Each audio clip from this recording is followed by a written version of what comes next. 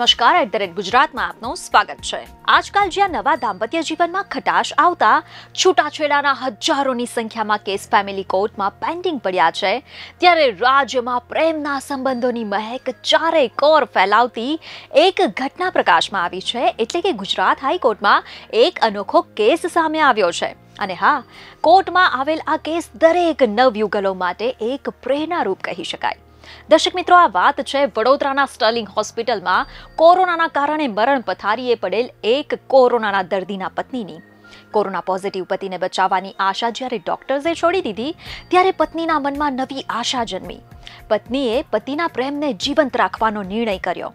જી હા, પત્ની મરણ શૈયાએ પડેલ પતિના સ્પમ મેળવી આઈવીએફ સિસ્ટમથી બેબી પ્લાન કરશે તેવો નિર્ણય કર્યો. જો કે પતિ સભાન અવસ્થામાં ન હોવાના કારણે ડોનર તરીકે તેઓની મંજૂરી મળવી મુશ્કેલ હતી જેથી પત્નીએ હાઈકોર્ટમાં પિટિશન દાખલ કરી માંગ કરી હતી કે સ્પમ માટેની મંજૂરી આપવામાં આવે જી હા દર્શક મિત્રો અરજદારે આઈવીએફ સિસ્ટમથી બેબી પ્લાન કરવા નામદાર હાઈકોર્ટમાં અરજી કરી હતી અને હાઈકોર્ટે આ અંગે સુનાવણી હાથ ધરતા ચોવીસ કલાકની અંદર સ્પમ લેવાનો ડોક્ટરને આદેશ આપ્યો હતો આ અંગે હાઈકોર્ટે વધુમાં શું કહ્યું આ કેસ અંગે વધુ જાણકારી આપીશું પરંતુ એ પહેલા જો તમે અમારો આ વિડીયો યુટ્યુબ પર જોઈ રહ્યા હોવ તમારી ચેનલ દિલોક સત્તાને સબસ્ક્રાઇબ કરો બેલ બટન દબાવવાનું ભૂલતા નહીં જો તમે અમારો આ વિડીયો ફેસબુક પર જોઈ રહ્યા હોવ તો તેને લાઇક ફોલો અને શેર જરૂર કરો દર્શક મિત્રો તમને જણાવી દઈએ કે રિપોર્ટ અનુસાર વડોદરાના આ દંપતીના લગ્ન થયા હતા વર્ષ બે હજાર વીસના ઓક્ટોબર મહિનામાં પરંતુ કોરોના મહામારીની બીજી વેવના કારણે અરજદારના પતિ કોરોના પોઝિટિવ આવ્યા જી હા દર્શક મિત્રો આ બીમારી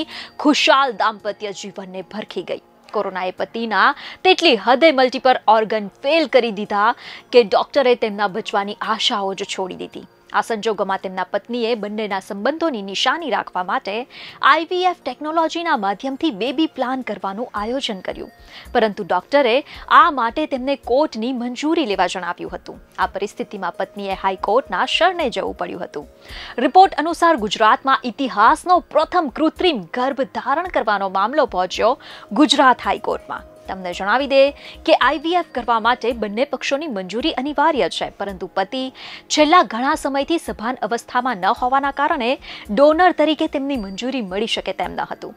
જેથી હોસ્પિટલના તબીબોએ તેમને કોર્ટમાંથી મંજૂરી લેવા માટે કહ્યું હતું. પરિણામે પત્નીએ આજે કોર્ટમાં આ માટેની મંજૂરી માંગી હતી. હવે વાત કરીએ દર્શક મિત્રો કે આ મામલે હાઈકોર્ટે શું આદેશ કર્યો?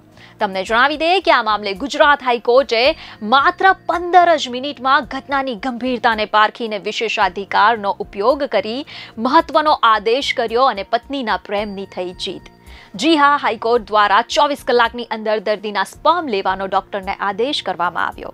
આ આદેશ બાદ વડોદરાની સ્ટર્લિંગ હોસ્પિટલમાં મોતના મુખમાં સુતેલ પતિના સ્પર્મ લેવામાં આવ્યા છે. તમને જણાવી દઈએ કે વધુમાં કોર્ટે ઓર્ડર કર્યો હતો કે આ સ્પર્મને જ્યાં સુધી કોર્ટ આગામી સમયમાં યોજાનાર સુનાવણીમાં આદેશ ન કરે, ત્યાં સુધી પ્લાન્ટ ન કરવા માટે જણાવ્યું છે. એટલે કે કોર્ટના હુકમ મુજબ હવે ટૂંક જ સમયમાં આઈવીએફની પ્રક્રિયા હાથ ધરવામાં આવશે. દર્શક મિત્રો તમને જણાવી દઈએ કે અહેવાલો અનુસાર આ અંગે હોસ્પિટલની ટીમનું કહેવું છે કે સ્ટરિંગ હોસ્પિટલ માટે આ પ્રથમ કિસ્સો છે અમે કોર્ટના ઓર્ડર પહેલા જ દર્દીના સ્પમ લેવા માટેની તૈયારી કરી દીધી હતી કોર્ટના ઓર્ડર આવતા જ અમે દર્દીના સ્પમ લેવાની કાર્યવાહી શરૂ કરી હતી સ્પમ લેવાની પ્રક્રિયા સમયે દર્દીને બ્લીડિંગ થઈ શકે છે એ વાતથી પણ અમે દર્દીના પરિવારજનોને વાકેફ કર્યા હતા હોસ્પિટલ દર્દીના પરિવારજનો સાથે જ છે તેમ તેઓએ વધુમાં જણાવ્યું હતું So once the court decides, again the court has to decide, then the family uh, can go with the IVF procedure जो आगे का प्रोसीजर जो करने का वो। ये जो ये ये अगर ये प्रोसीजर बोलेगा तो ये प्रोसीजर के लिए ऐसा कोई बड़ा कॉस्ट नहीं है। ये जो ऐसा जो प्रोसीजर है वो प्रोसीजर के लिए there is no any it's not a big cost correct ये क्या है कि एक नीडल से एक्सट्रैक्ट किया जाता है। It is fifteen twenty minutes या max max thirty minutes procedure correct so अगर आप नॉर्मल कोर्स में भी अगर आप देखोगे तो ये ये ये, ये जो प्रोसीजर है इसका cost ten thousand rupees to fifteen thousand rupees तक का कॉस्ट है। इकमो पे था हमारा और वो मल्टी ऑर्गन फेल्यूर में था।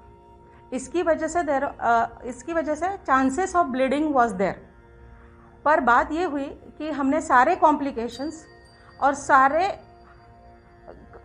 प्लस एंड माइनस ऑफ़ ये प्रोसीजर के रिलेटिव को भी समझाया एंड पेशेंट को इवन द पेशेंट्स के फादर को भी समझाया और even that wife also knowing the things even the embryologist has given कि इसके और भी क्या क्या प्रॉब्लम हो सकते हैं, वो भी काउंसिल किया गया है।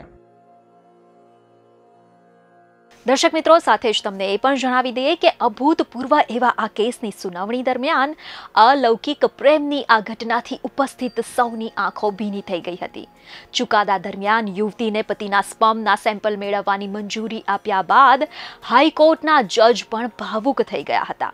ગુજરાત હાઈકોર્ટના ઇતિહાસમાં પ્રથમ વખત હોસ્પિટલમાં મૃત્યુ શૈયા પર પડેલ પતિના સ્પમમાં સેમ્પલ મેળવીને તેમના દ્વારા માતા બનવા માટે પત્ની દ્વારા અરજી કરવામાં આવી હતી અને આખરે પત્નીના પ્રેમની જીત થઈ.